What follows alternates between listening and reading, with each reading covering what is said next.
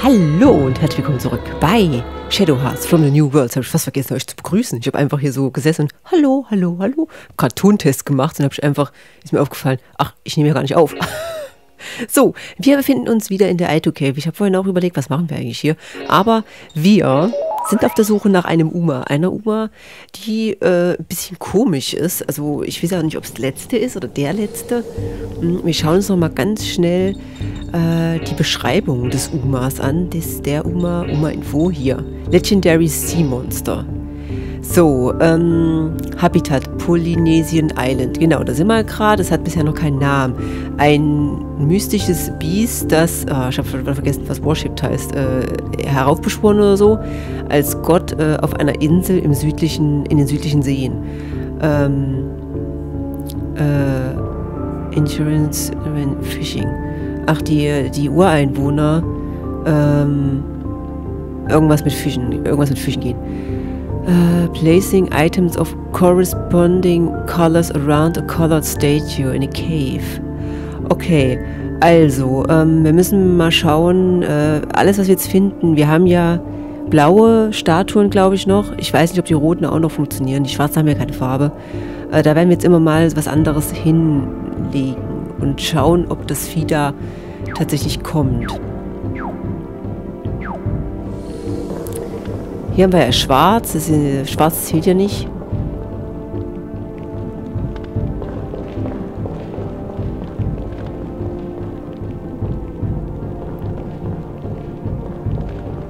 Zählen die blauen überhaupt? In welches Statue meint er denn? Ach, genau falsche Richtung. Sorry. Sorry. Oder meint er ganz hinten die? Stimmt, man kann ja hier durchgehen. Ich habe ganz vergessen. Sorry. Sorry. Ähm, lass mich mal bitte auf die Karte schauen.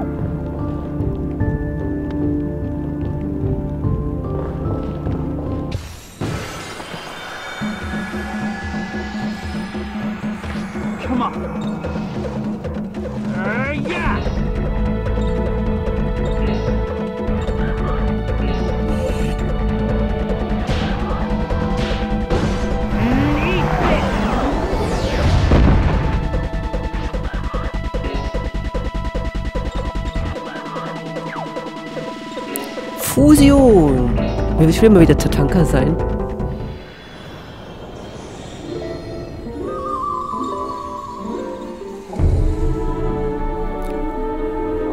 Ich weiß noch, wie ich es bei Final Fantasy X 2 geliebt habe, die Weiber umzuziehen. Ich wollte immer unbedingt diese krasse Fusion haben, weil es gab doch immer diese Fusion, die man äh, machen konnte bei Pain, Riku und äh, äh, und Yuna, wo die dann, Yuna hatte so ein, so ein Blumenkleid an und äh, die, ja nicht Blumenkleid, die sah halt aus wie so eine riesige Brautblume. Und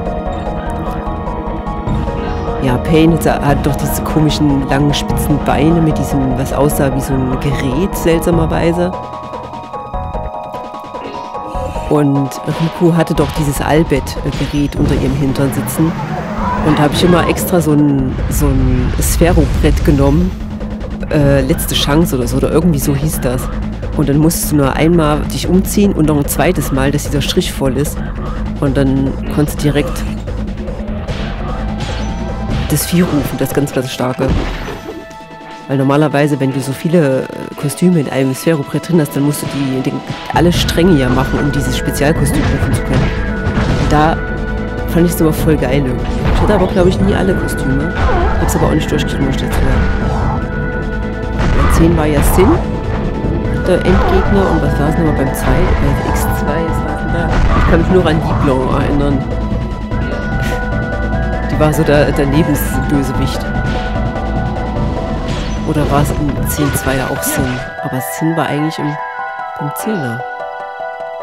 Hm, ich weiß gar nicht mehr.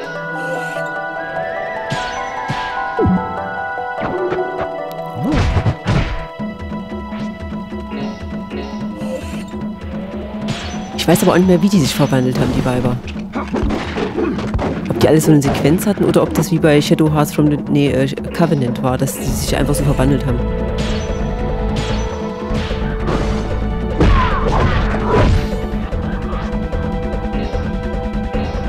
Da kann ich mich leider nicht dran erinnern. Sogar noch die Remastered-Version hier für die 4. Aber ich, mir hat es irgendwie nicht so richtig gefallen, muss ich sagen. Auf der, also diese Remastered-Version, die sah ein bisschen platt aus.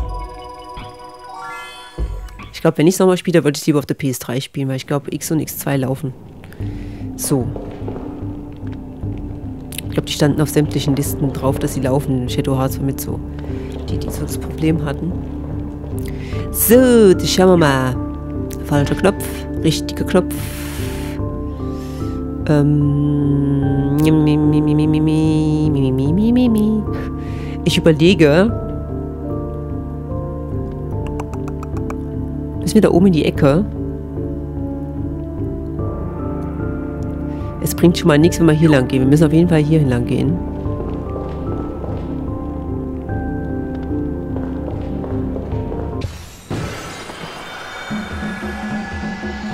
Well then, let's start things off with a drink.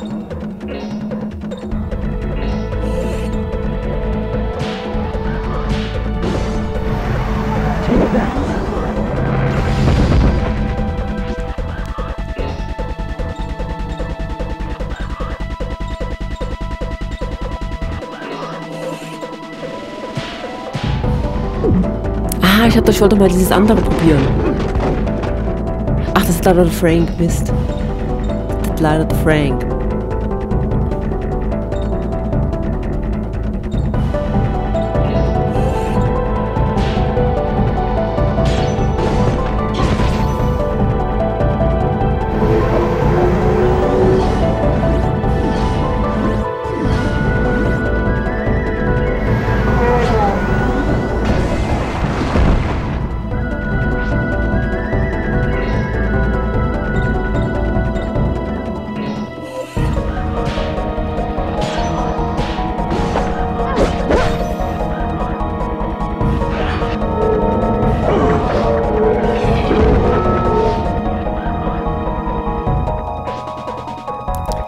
Södele. Die sind wieder so weit auseinander.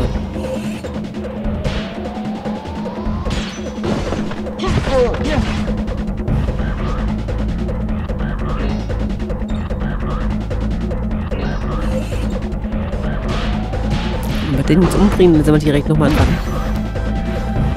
Dann kriegen wir auch das andere Vieh tot hier. Ah, so natürlich nicht. Das ist jetzt sehr schade, denn so schaffen wir es, glaube ich, nicht.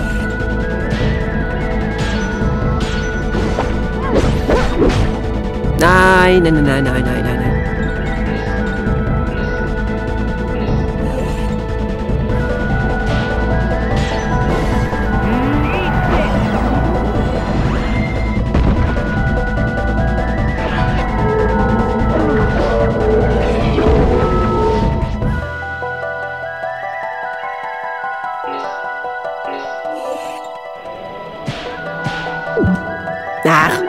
Los? Das war der Controller, glaube ich.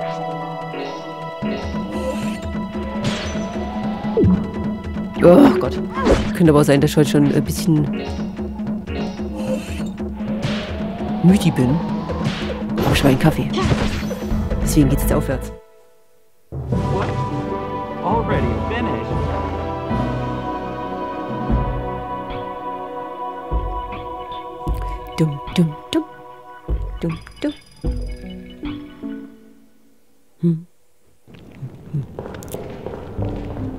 Also, ich würde jetzt erstmal grundsätzlich einfach so geradeaus zum Dings laufen.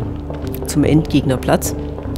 Und würde da einfach irgendwas hinlegen. Weil da lag, da lag doch irgendwas, was, was komisches, irgendwas Rotes. Und dann gucken wir mal, ob wir irgendwas Korrespondenzmäßiges dafür haben. Ich bin verwirrt. Wir haben nicht einen Gegner jetzt hier gesehen. Tent. Schlagen wir unser Zelt auf. So. Und jetzt wird erstmal gedatat.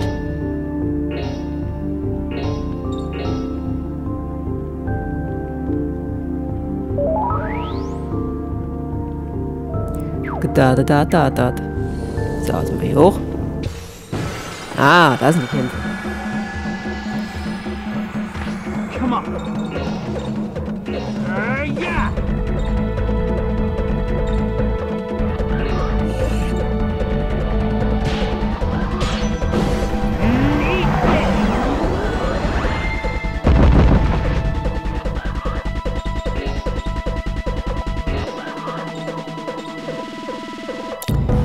Seid mir alle zu nah bei, nicht zu nah beieinander.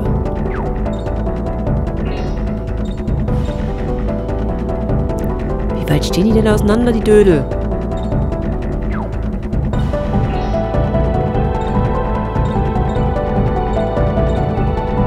Ah, wenigstens so.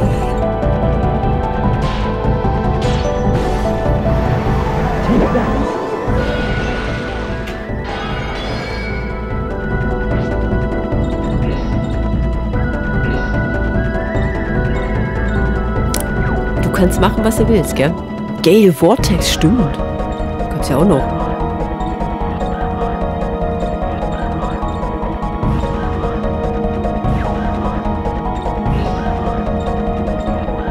Ah, so.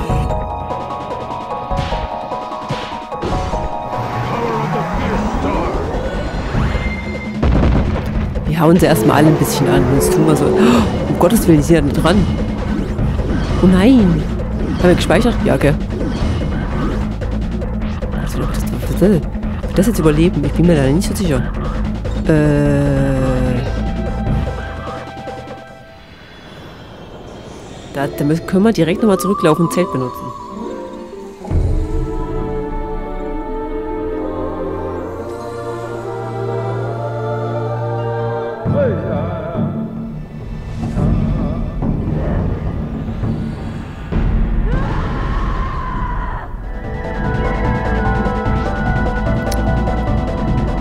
So, schauen wir mal.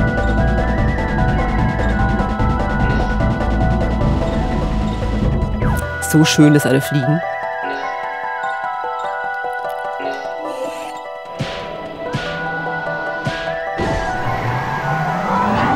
Gefällt dir gerade was nicht? Übrigens musste ich heute noch nicht mal Melenas Schwert runterschmeißen. Es lief direkt. Seltsamerweise.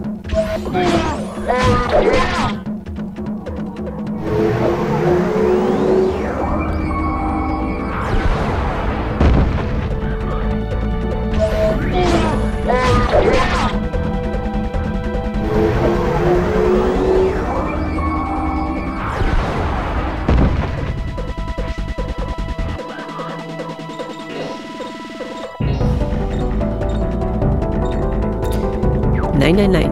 Okay, wir müssen leider normal attackieren. Aber das Gute ist, die sind ja alle schon angehackt. Oder zumindest teils angehackt. Wir schauen jetzt mal. Äh, Drunken Fest. Restore HP to Alcohol. Uh, ich weiß nicht, was unconscious heißt, aber...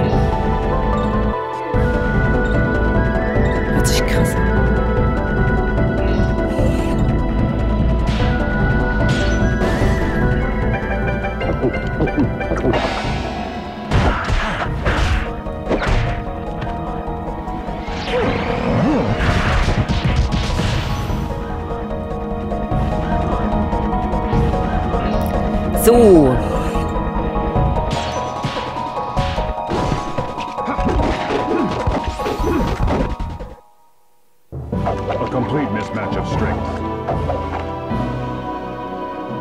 Ich glaube, die äh, Shania kriegt irgendwie einen Krummbuckel. Wenn die ganze Zeit so stehen muss. Obwohl, müssen wir nochmal zurück? Nur der Johnny ist ein bisschen am Abkacken. Aber das geht schon. Warte mal. Wir heilen ihn mal mit sich selbst. Ach, da hätten wir auch nicht einen Ricardo nehmen können.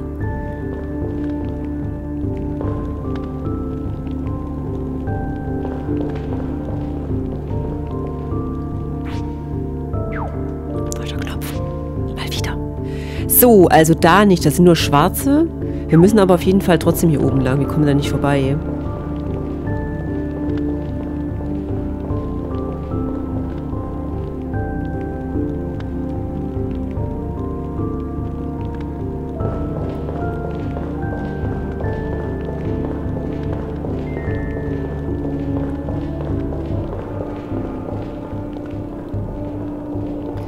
So, hier müsste es eigentlich... Fight me with all you've got.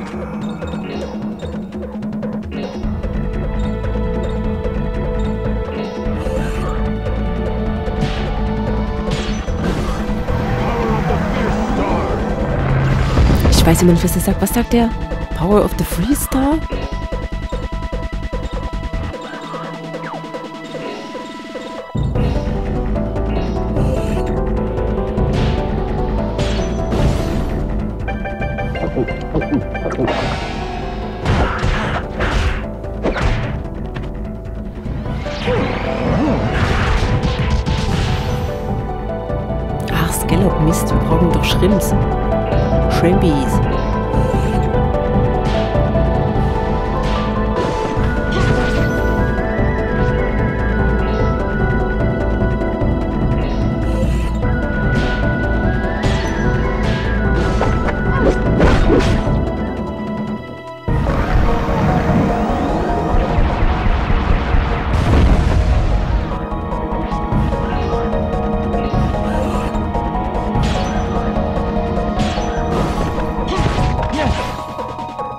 Haha, da ist jemand angegiftet.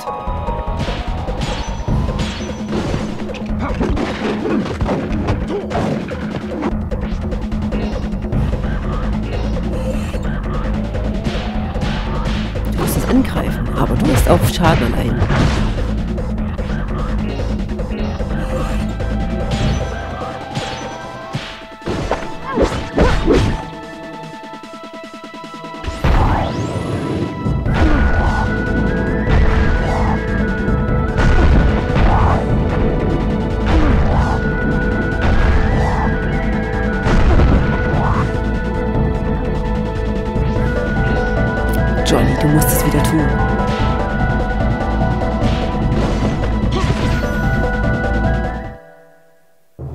Already over? That was too easy.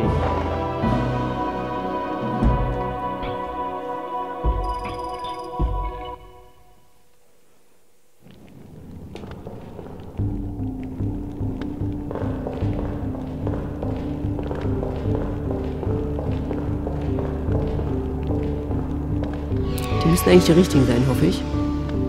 Ja.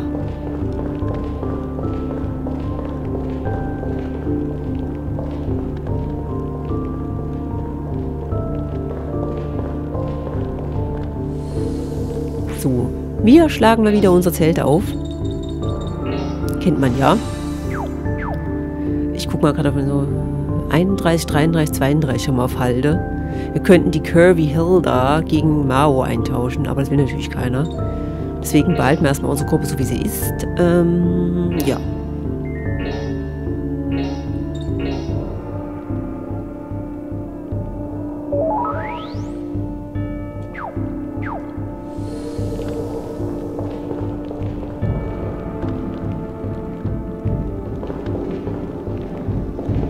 Also ich habe mir halt gedacht, hier ist blau. Ach ja. Tatsächlich hier.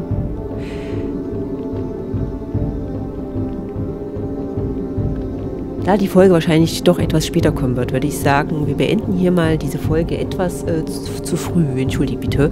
In der nächsten Folge werden wir hier alle möglichen Dinge vor dieses äh, Ding legen. Also irgendwas Rotes, Korrespondent, also äh, heißt das, dass die gegenüber, gegenüber im Farbkreis ist? Was ist ein Gegenüber von Blau? Die Hauptfarben sind Blau, Rot und Gelb. Und gegenüber von Blau müsste eigentlich, wenn ich mir das so vorstelle, Gelb sein.